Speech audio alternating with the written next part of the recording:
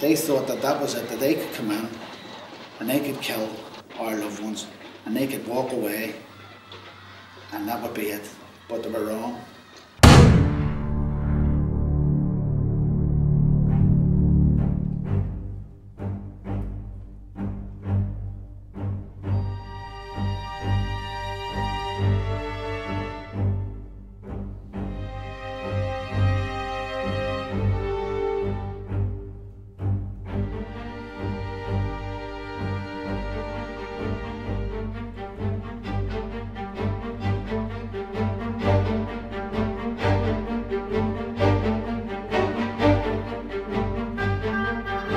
Exactly who they were firing into. They knew it was civilians. They knew they cut down a priest.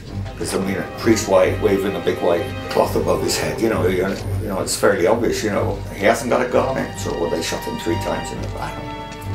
It was just blatant murder that day.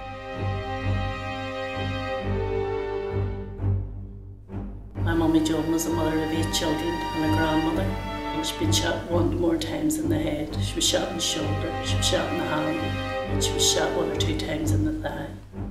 His whole life ahead of him. Could have been married, could have had kids. The British Army decided to shoot him, cut his life short.